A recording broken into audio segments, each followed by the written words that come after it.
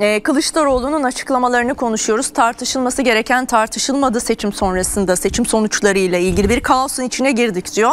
Bu şartlarda bu kadarını yapabildik diyor e, Sayın Kılıçdaroğlu. Bunları değerlendiriyorduk. Buyurun e, Gürsel Bey siz başka sorunlarımız da var ülkede dediniz. Oradan devam edelim. Üniversite kazanmasına rağmen ne yazık ki kaydını yapamadı. 40 bine yakın çocuğumuz da üniversitede fiilen devam eden çocuklarımız üniversite ara vermek zorunda kaldı. Yani çok derin bir sıkıntı ve sorunla karşı karşıyayız. Bir seçim yaşadık. Tabii ki seçimlerin sonucunda önemli olan sonuç almaktır. Sonuç almadan önce de şunu ben e, bugün söylüyor değilim. E, Cumhuriyet Halk Partisi Genel Merkez yöneticilerinin tamamını aradım. Başta Sayın Genel Başkanımız ve bu işlerle e, ilgili olan bütün arkadaşlarımı tek tek aradım. Niye aradınız diyeceksiniz. Bir aksaklıkların sorunların olduğunu görüyordum. Ben e, benimle ilgili çok şeyler yazılabilir ama bir tek işim var. Bu işi seviyorum ve bunu yapıyorum. Doğal olarak da yıllardır sandık nasıl yönetilir, nasıl sandık başında görev alınır, nerelerde sorun var. Aynı zamanda ben sadece bizim partilerimiz değil birçok partilerin başta AK Parti olmak üzere üye hareketlerini takip ede, edebiliyorum. Kaç kişi istifa etmiş, kaç kişi katılmış. Kendi partimde haklı olarak görüyorum. Ve bu bütün bu sıkıntıları, sorunları tek tek arkadaşlarımla, aklınıza gelebilecek yöneticilerin tamamıyla seçimden 3 ay, 5 ay önce. Çünkü sonucun nereye varacağını 3 aşağı 5 yukarı görüyorduk. İkincisi yani aynı zamanda AGİP üyesi olduğum için dünyada çokça seçimler izledim. Ben olsaydım yani bunu samimi olarak söylüyorum böylesi orantısız bir seçime girmezdim. Hiç kimse kusuruma bakmasın. Nasıl? Dünyanın her yerinde seçim kurulları seçimin başladığı günden bitimine kadar o yönetir.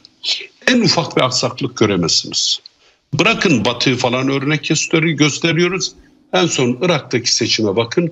Irak'taki seçimde de göreceksiniz. Yani bir tarafta mühürsüz oyları kabul edecek. Buna muhalefet de suç ortağıdır. Mühürlü, mühürsüz oyları mühürlü gibi geçerli Nerede oldu? sayacaksınız. Ne zaman oldu? Referandumda 2017. Bu seçimlerde mi oldu?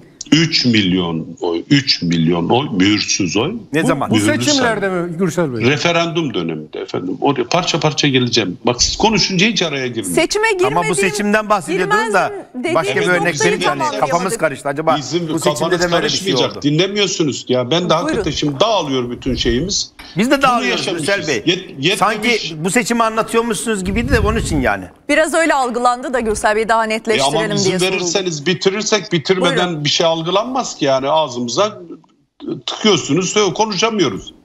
Buyurun 3 dinliyoruz. milyon mühürsüz oy mühürlü sayıldı. Ve 3 milyon mühür oy ne demektir? 7,5 7500 sandık demektir. 7500 sandık görevlisi bu pusulaların mühürsüz olduğunu fark edemiyor. Öyle mi? Neredeydi görevlileriniz o zaman? Sorarlar. Efendim bakın biraz önce söyledim. Kusur arıyorum kendimizde. İktidarın ne yaptığını biliyoruz. Muhalefete eleştiriyor. İki, 2018 seçimlerinde yaşadığımız ortada. İki, üç, 2019 Ay, seçimi. 2018'de ne yaşandı? Oraya da gelin. Ne yaşadık? Ya Hanımefendi vallahi ya siz, ya ben Hasan Çin'de Bey. yaşıyorum.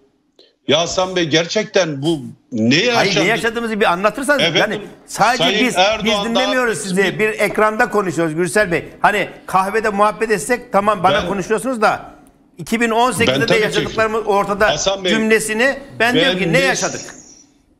Buyurun. Ne yaşadık? Buyurun Anlatıyor Gürsel Ama Bey. ya bu, bu, bu gerçekten çok itici bir şey ya. Ben bu konuda rahatsız oluyorum. Yani Valla ben de siz oluyorum. konuşunca Gürsel böyle Bey ben de rahatsız oluyorum. E, rahatsız olun. provokatif 2018'de bir cümle kuruyorsunuz. 2018'de Sonra ne Atalan oldu? Üsküdar'ı geçen geçti diyen seçimin şey kahramanı kim? Siz yok muydunuz? tamam, ne oldu Bu peki? ülkede yaşamıyor muydunuz? Peki o seçimle ne oldu? Atalan Üsküdar'ı geçti tabii. Elinde verilere göre Efendim konuşuyor. ver- veri bile yoktu. Allah'tan korkun ya. Biz Nasıl yoktu? ağzımızı açamayacak mıyız? ya? 2019'da İstanbul Büyükşehir'i siz kim yasaksız kazandı? bir Türkiye'de bir getirdiniz yasaklı bir. konuşacağız. Ya bari bizim konuşmalarımıza izin verin. Ne olursunuz Buyurunuz Hasan Bey. efendim, buyurunuz. Müsaade edin de yanlış söyleyeyim. Buyurunuz yanlış söyleyin. Müsaade Zaten edin yanlış eksik söylüyorsun da. Eksik söyleme, yanlış söyleme Ya, aklımda olsun ben ya. Buyurun. Gürsel Bey bak ne güzel size o cümleyi kurma fırsatı vermiş oldum soruyu İyi sorarak. fırsat da vermeyin bana. Dur dur. Ya, hayır soru Ya sorarak. Allah bağış olsun. yaptınız Siz- yani. Gürsel Bey Hayır, hayır, uzattı bir dakika ya. yani Buyurun. Şimdi böyle yani sizin bilmiyorum İstanbul Büyükşehir Belediye Başkanlığı'nın Ne ilgisi var ya? Ya, hayır hayır. Bir sen saniye daha ya. neye- neye- o cümleyi bir sayın, tamamlasın. Sayın e, İmamoğlu Yani- her olaydan bir mağduriyet üretmeye çalışıyor ya. Ben Gürsel Bey'in bilakis buna karşı bir insan olarak kendisini Evet, doğru ifade ettiğini bakın. düşünen bir insanım. Ama Hayır, ifade 2018'de de malum müsaade şeyler oldu. etmiyorsunuz Ne ki. oldu? Ben Ya uzaktan bağlanmış Deseydi zaten. ki 2019'da ne Hasan oldu? Bey, Onu da soracaktım ben. Hasan Bey. Peki Bırakın buyurun ya, olmasın Bey. ya. Buyurun. Anlamaya Müsaade çalışıyoruz edin, ya. Bakın. müsaade edin. Eksik Bitince sorun, Siz bitince. de düzeltirsiniz. Bitirdikten sonra itiraz edin, düzeltin. Alın. 2018'deki seçimlerde neler yaşandığını bütün Türkiye biliyor. Ben bilmiyorum ya. 2019 seçimlerinde Neler seçim yaşandı? kazan Siz var ya Türkiye'deki seçimleri gayrimeşru ilan etmek için bir kurgusal tablo çiziyorsunuz. Nereden biliyorsun o Ve- gayrimeşru ve- ilan ve- edeceğim ve- ya? Bu korku nereden siyasetçisiniz. ya? Parlamentoza, parlamentoya da o kurgusal yani üçkağıtçılıkla yapılan seçimlerle seçilmiş olarak gidiyorsunuz. Yemin ediyorsunuz sizin anlattığınıza siz göre. havadan nem kapıyorsunuz bak, havadan. Kendi meşruiyetinizi bile sorgulamak zorundasınız. 2018 Peki bir dakika Gürsel Bey'e soralım. Bu bir meşru Buradan meşruiyet sorgulaması mı? Buyurun. Bakın Yo, tabii 2000, ki o. 2019 seçimlerinde yerel seçim bitti. Bir gazeteci aynı zamanda Anadolu Ajansı'nın muhabiri Yüksek Seçim Kurulu Başkanı'na soru soruyor. İstanbul seçimi ne oldu dedi. İstanbul seçimi kayıtlarda var göreceksiniz. 14.800 oyla Cumhuriyet Halk Partisi adayı kazandı. Niye iptal ettiniz Hasan Bey? Ha güzel. Ben iptal etmedim de ben anlatayım sonu. Efendim niye? Bana, bana Ama cevap yani Peki Allah buyurun bir Gürsel Bey tamamlasın. No- bir tamamlasın. Sordu bana. Yok, Soru Yok sordu. size Not alın, sormadı. her Gene ortaya sordu. Buyurun. Gürsel Niye Bey. iptal Siz ediyorsunuz? Şimdi gel- yanıt verirsiniz. Tamamlasın. Buyurun. Şimdi şimdi geldim bu seçime. Bu seçimle ilgili seçimin başladığı günden itibaren hepinize soruyorum. Mesela Türkiye'de Cumhuriyet savcıları. Cumhuriyet savcıları görevi nedir? Adı belli Cumhuriyet savcılar. Bir terör mensubuyla genel başkanımızın Cumhurbaşkanı adayını aynı videonun içine koyuyorsunuz. Günlerce haberleşiyor gazetelerde, televizyonlarda, devletin televizyonda. Ne Yüksek Seçim Kurulu buna müdahale ediyor ne de herhangi bir savcı soruşturma açıyor.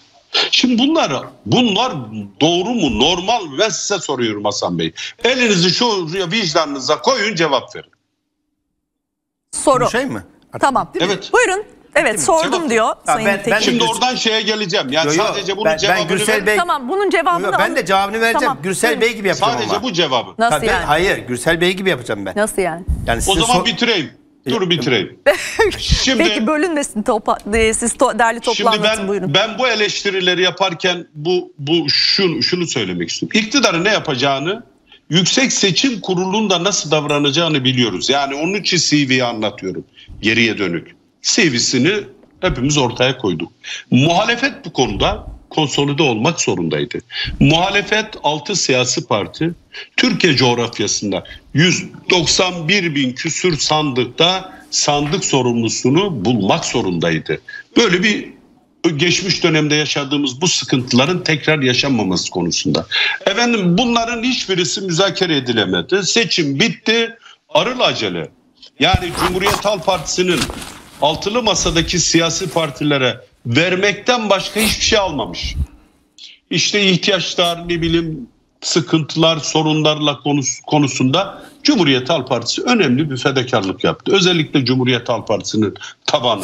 Seçim biter bitmez ciddi bir saldırıyla karşı karşıya kaldı Cumhuriyet Halk Partisi. Yani sanki bir takım düşünün. Takımın e, takım yenilmiş. Takımın sadece kaptanı e, tartışılıyor. Onun dışında herkes haklı. Herkes haklı değildir. Ortada bir sıkıntı varsa bu sıkıntı herkesin bir payı vardır. Bu maalesef o gün tavır alınabilirdi. Ciddi konsolide olunabilirdi. 6-7 tane işte Cumhurbaşkanı tartışması, sürekli iş tartışma. Yani hazırlıklı değildik. Bir tarafta iktidarın eee, farklı siyasi partilerle koalisyon olmasına rağmen kendi iş tartışmalarını yaptılar. Çok dışarıya bir tartışma yaratılmadı. E, ikincisi e, yani iktidarın e, devletin Gürsel bütün Bey, kurumları, altılı bütün masa hata mıydı bugünden çalıştı. baktığınızda? Yani altılı masa hata mıydı bugünden baktığınızda? Altılı masa hata değildi. Altılı masa sağlık hani bir gömlek hikayesi var ya yani sağlıklı iliklerseniz tamamı güzel bir şey olur. Baştan itibaren e, biraz yani e, daha sağlıklı bir e, temellere oturtulabilirdi.